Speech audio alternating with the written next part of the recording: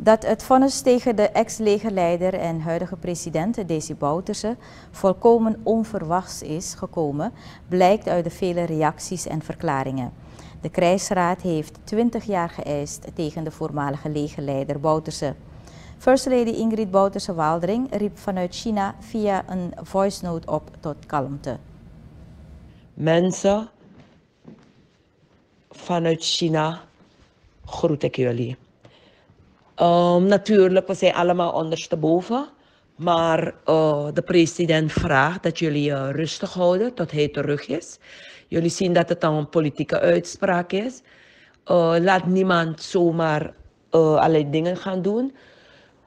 De bedoeling is dat er gemobiliseerd wordt om de president op te halen van Sanderij. Maar volgen jullie de berichten van Faisal en de leiding van de NDP wanneer het is? Het is niet morgen, het is eigenlijk 30 op 1 uh, december in de ochtend. Alsjeblieft mensen, volgen jullie de berichten. Dankjewel. Daarna volgden de verklaringen vanuit de regering, de NDP en vanuit de andere politieke partijen. Enerzijds wordt er opgeroepen tot kalmte en aan de andere kant wordt gezegd dat de rechtsstaat overeind gehouden moet worden. Onze nieuwsdienst wilde weten wat de mening is van de doorsnee burger en heeft in de binnenstad enkele mensen om een reactie gevraagd. Het nieuws van de dag is natuurlijk het vonnis dat tegen de voormalige legerleider en president van de Republiek Suriname, Desiree Bouterse, is geveld. 20 jaar uh, gevangenisstraf is er geveld, dat is het vonnis, maar er is geen gevangenneming uh, geëist. We, verschillende verklaringen zijn gekomen vanuit de NDP, vanuit de regering. Maar wat zegt de doorsnee burger? Daarvoor zijn we nu in de stad en we gaan met enkele mensen praten. Gaat u met ons mee? Nee, geen reactie. Geen reactie? Nee. Waarom niet? Ik, ik heb gewoon geen reactie.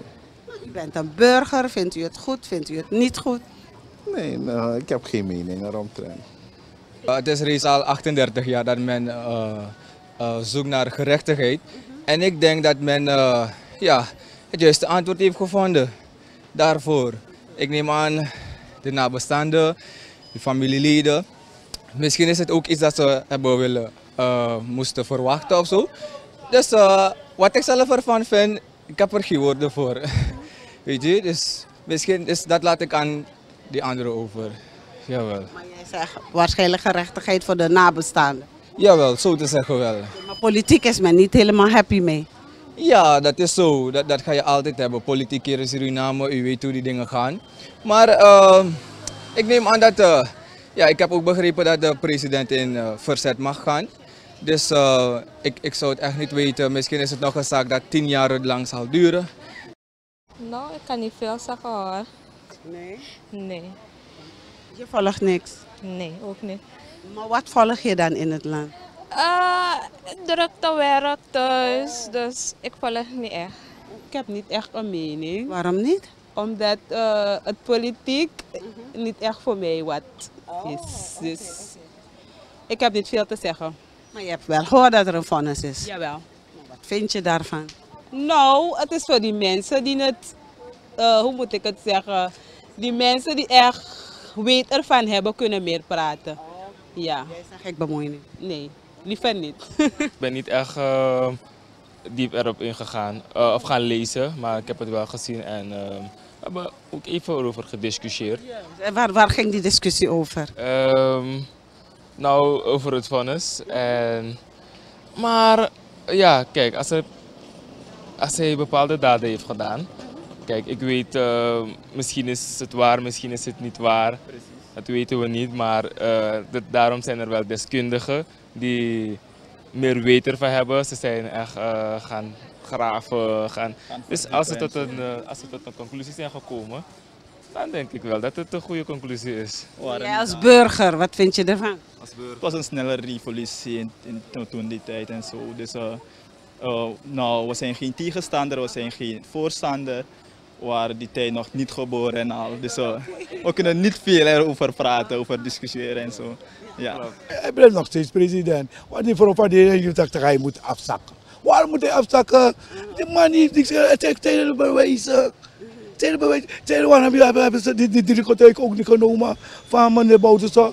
De krijgsraad. Waarom ik kan, hij gaat het ook voor zo diep zetten. Deze hij is een slimme man. Hij heeft werk al goed gemaakt. Dan ga je ze daar heeft tegengebracht, jongen. Voor dingen voor schuiven toch? Hij kan in hoger beroep gaan. Voor gaan toch? Dan gaat hij ze nu wijzen. Dan gaat hij wijzen, die foto wat hebben ze gemaakt. En daar gaat hij ze pakken. Dus u bent niet eens met het vonnis? Nee, ik ben eens met het vonnis. Het zijn er bewezen. Het zijn er bewezen. Kroon bewezen, bewezen. Dat zo houden niet van die man. En die man gaat scoren, je gaat alle kanten kijken, sloepen wijken. Zie je die vlaggen van die man wapperen. En dat, voor dat zijn ze boos. En dat, voor dat is Nederland ook boos. Want meneer Satoki blijft bo blijft boodschap van Nederland. Reacties van enkele burgers op het vonnis tegen ex-legerleider en huidige president Desi Bouterse. De meningen zijn verdeeld, maar het lijkt er sterk op dat de man van de straat zich niet echt bezighoudt met de politiek.